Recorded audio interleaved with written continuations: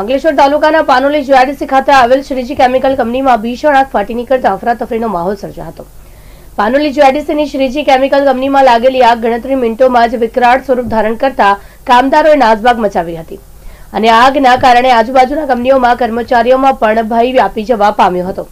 આ બનાવની જાણ થતાં જ ફાયર બ્રિગેડના લશ્કરોએ તાત્કાલિક ઘટના સ્થળે પહોંચી જઈ કલાકોની જહેમત બાદ આગ પર કાબુ મેળવ્યો હતો.